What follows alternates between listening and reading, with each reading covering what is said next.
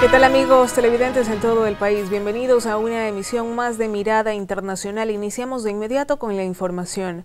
Más de 100 personas heridas y 70 muertos es el resultado de un atentado suicida en Pakistán este lunes, en el que un hombre se hizo explotar frente a la sala de urgencias del Hospital Civil de Quetta.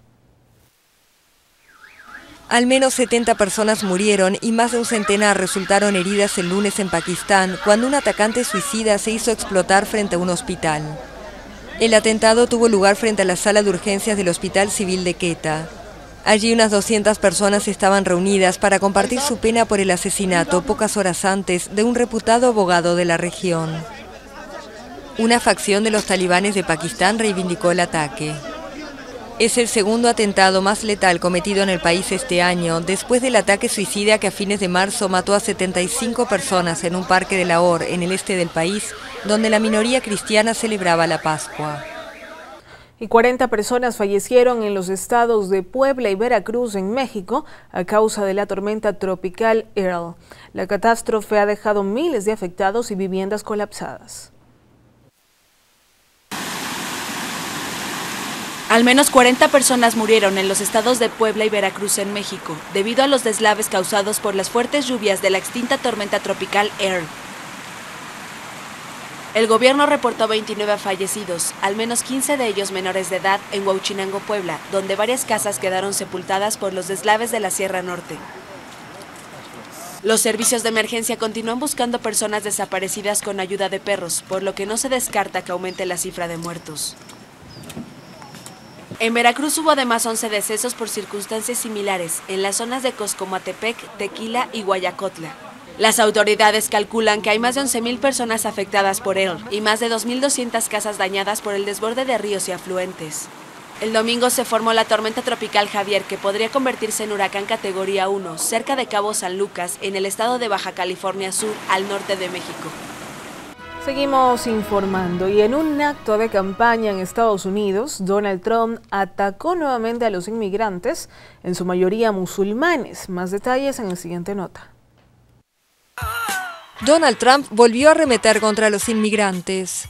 Durante un acto de campaña en Maine, atacó a quienes provienen de países con mayoría musulmana.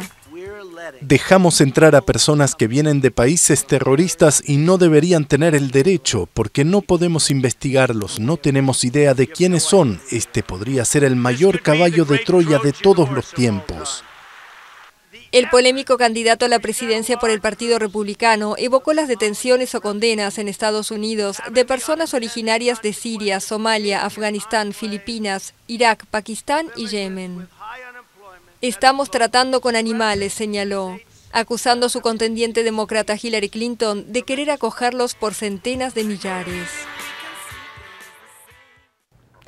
Y en una convención de periodistas en Washington, la candidata demócrata Hillary Clinton destacó que la reforma migratoria será una prioridad en su gobierno.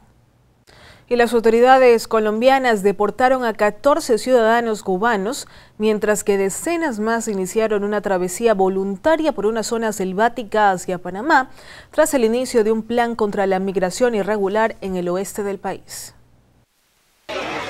Decenas de migrantes cubanos y haitianos se adentraron el sábado en la selva de Colombia buscando llegar a Panamá. ¿Por dónde vamos? Por la selva.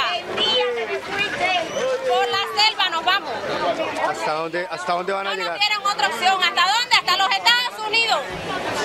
Para ser libres, buscamos la libertad. Esto después de que el gobierno colombiano deportó a 14 ciudadanos cubanos como parte de un plan contra la migración irregular. Los migrantes salieron del municipio de Turbo, en el departamento de Antioquia, hacia la localidad de Capurganá, para ingresar a la selva fronteriza y cruzar a pie a Panamá.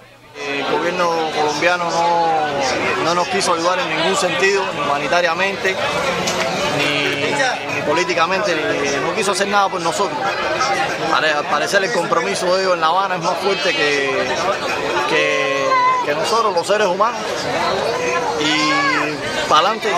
Según las autoridades, en menos de tres meses, casi 8.000 migrantes han pasado por Turbo con la intención de llegar a Estados Unidos.